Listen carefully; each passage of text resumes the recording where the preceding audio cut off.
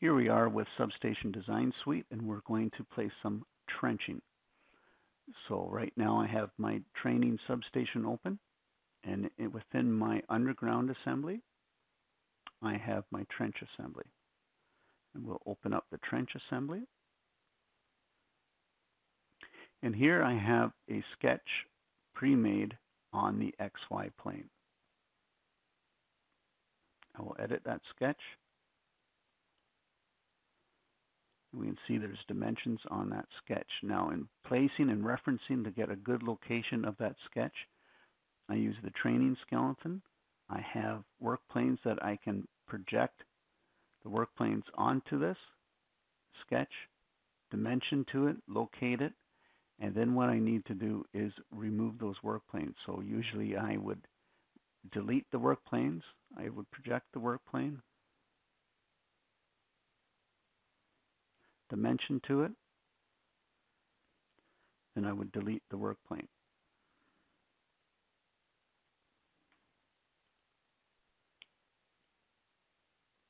The reason I would delete the work plane is currently the sketch tool will put a trench on every line it sees and we'll put a, a, a trench on that projected plane. So once I have the sketch where I want it, I would use the fix tool to fix it in into place, to lock it down into place and go from there. So I'll finish my sketch and I'll make it visible. And there's my sketch.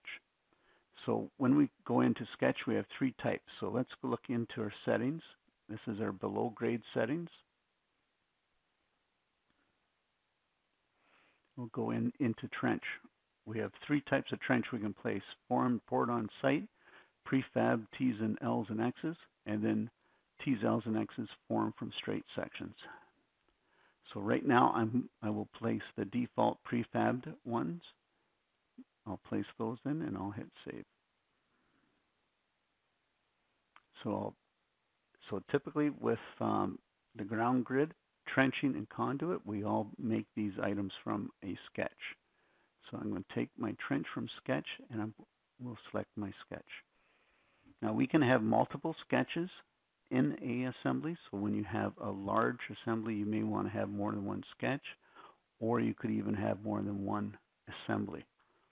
Because we're using the substation modeling strategy, in most cases, it'd be easy to connect the trenching together. So now that I have my trench placed, placed the lids on for, for me, and it's played and it's placed the, a trench that is in the database. Of course, the database can be modified by looking at the substation design content editor, and we spoke about that earlier.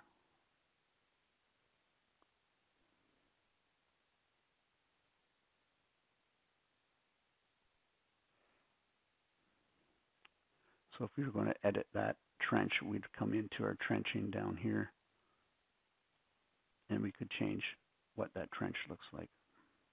This is Substation Design Content Editor.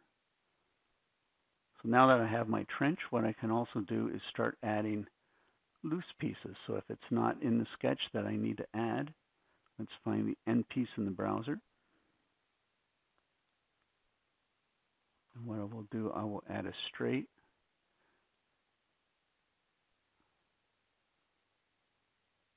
and I will place a loose trench piece on here. So I can add an L if I wish, and I'm, i will add an L. I can add a left or right L. I'm going to take the branch left, done. I'll take this last piece here, and I will pick the point, and with that I have an L. And we can continue to add in that manner. So that is adding the prefab T's and L's. Now if we were going to add some of the others that we can set up,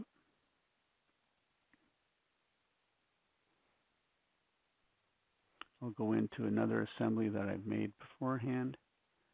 And here's my trench again. I will go into my below grade tools, change my settings, This one I'm going to do the poured at site. Save.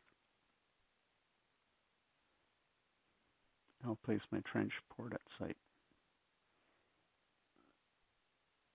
Again, this can be fully edited to whatever you need, whatever your custom pouring is. Sometimes the pour is just two walls and no uh, bottom or top. So it's it can be fully customized in the Substation Design Database Editor. The other trench style, I'll open up a third assembly and we'll select that one again. So let's go into our below grade tools, settings,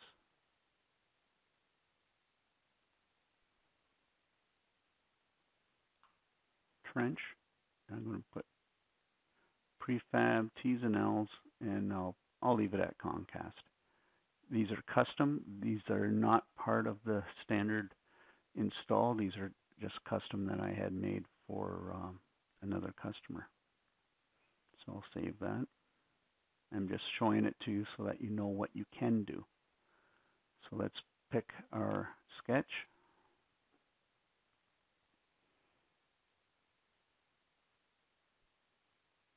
And what we have is a family of available trenches. I picked Concast, and there's a, a family of Concast trenches.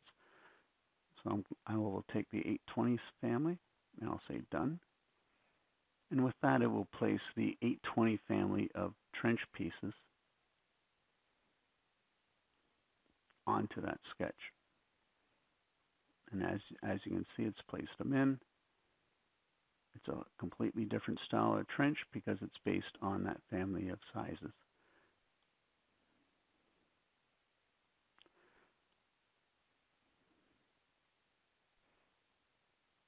So there's three trench types, and each trench type is fully customizable to meet the needs that are required. And that's all.